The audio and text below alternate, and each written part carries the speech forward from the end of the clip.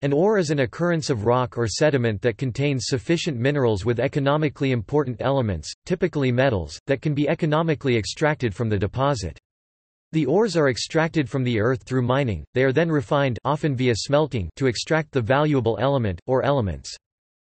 The grade or concentration of an ore mineral, or metal, as well as its form of occurrence, will directly affect the costs associated with mining the ore. The cost of extraction must thus be weighed against the metal value contained in the rock to determine what ore can be processed and what ore is of too low a grade to be worth mining.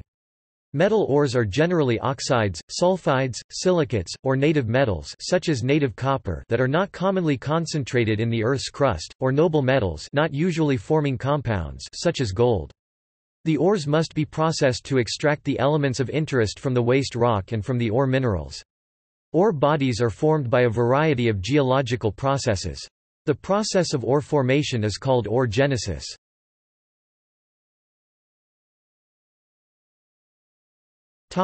Ore deposits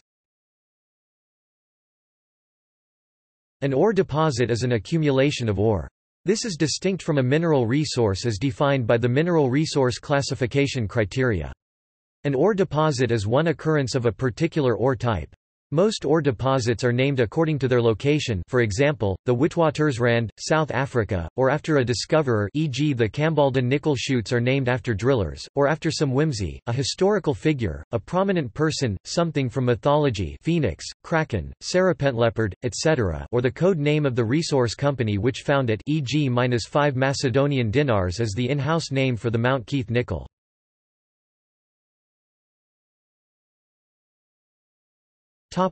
Classification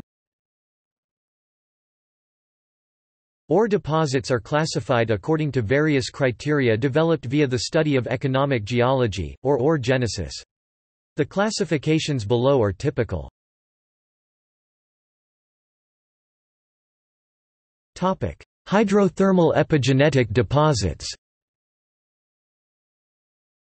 Mesothermal lode gold deposits, typified by the Golden Mile, Kalgoorlie. Archean conglomerate-hosted gold-uranium deposits, typified by Elliot Lake, Ontario, Canada and Witwatersrand, South Africa. Carlin-type gold deposits, including Epithermal stockwork vein deposits. Granite-related hydrothermal IOCG or iron oxide copper gold deposits, typified by the supergiant Olympic Dam CuOU deposit. Porphyry copper plus or minus gold plus or minus molybdenum plus or minus silver deposits. Intrusive related copper gold plus or minus tin tungsten, typified by the Tombstone, Arizona deposits. Hydromagmatic magnetite iron ore deposits and skarns. Skarn ore deposits of copper, lead, zinc, tungsten, etc. Magmatic deposits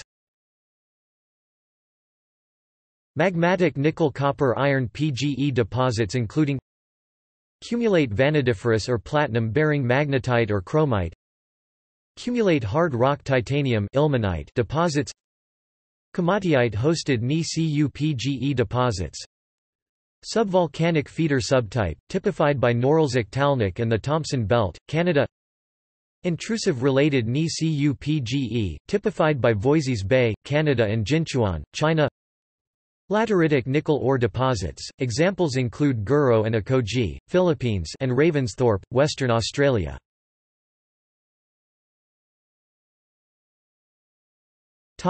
Volcanic-related deposits Volcanic-hosted massive sulfide VHMS CuPBZN including. Examples include Teutonic Bore and Golden Grove, Western Australia. Besshi type. Kuroko type. Metamorphically reworked deposits Podiform serpentinite hosted paramagmatic iron oxide chromite deposits, typified by Savage River, Tasmania iron ore, Coobina chromite deposit. Broken Hill type PBZN AG, considered to be a class of reworked SEDEX deposits. Carbonatite alkaline igneous related. Phosphorus tantalite vermiculite South Africa Rare earth elements, Mount Weld, Australia and Bayan Obo, Mongolia. Diatreme-hosted diamond in kimberlite, lamproite or lamprophyre Sedimentary deposits. Banded iron formation iron ore deposits, including Channel iron deposits or pisolite-type iron ore Heavy mineral sands ore deposits and other sand dune-hosted deposits. Alluvial gold, diamond, tin, platinum or black sand deposits. Alluvial oxide zinc deposit type, sole example Skorpion zinc. Topic: Sedimentary hydrothermal deposits.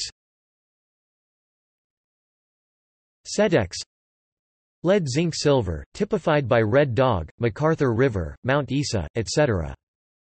Stratiform arkose hosted and shale hosted copper, typified by the Zambian copperbelt. Stratiform tungsten, typified by the Erzgebirge deposits, Czechoslovakia Exhalate of spilite chert hosted gold deposits Mississippi Valley type MVT zinc lead deposits Hematite iron ore deposits of altered banded iron formation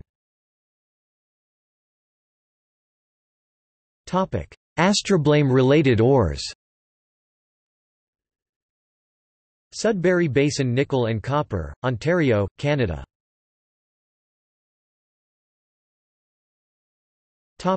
Extraction.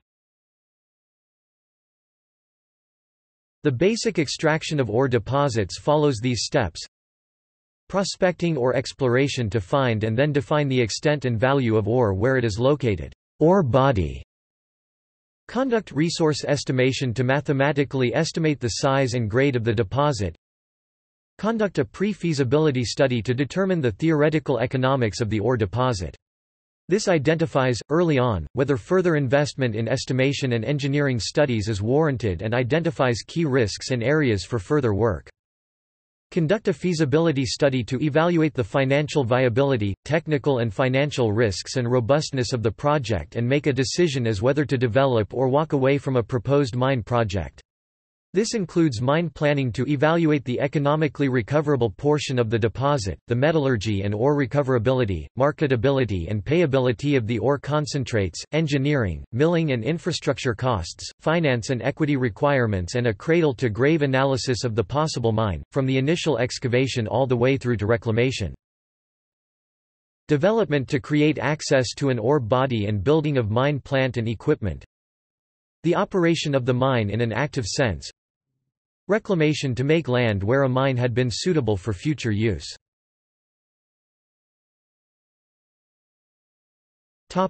Trade Ores metals are traded internationally and comprise a sizable portion of international trade in raw materials both in value and volume. This is because the worldwide distribution of ores is unequal and dislocated from locations of peak demand and from smelting infrastructure.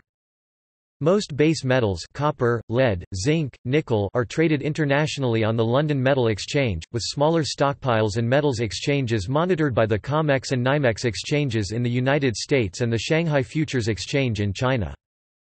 Iron ore is traded between customer and producer, though various benchmark prices are set quarterly between the major mining conglomerates and the major consumers, and this sets the stage for smaller participants.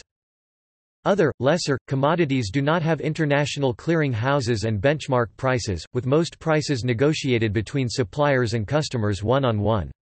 This generally makes determining the price of ores of this nature opaque and difficult.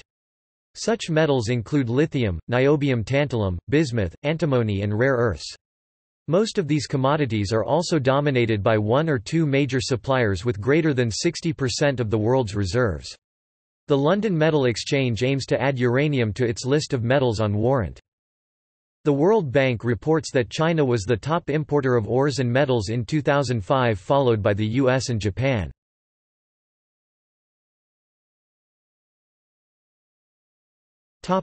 Important ore minerals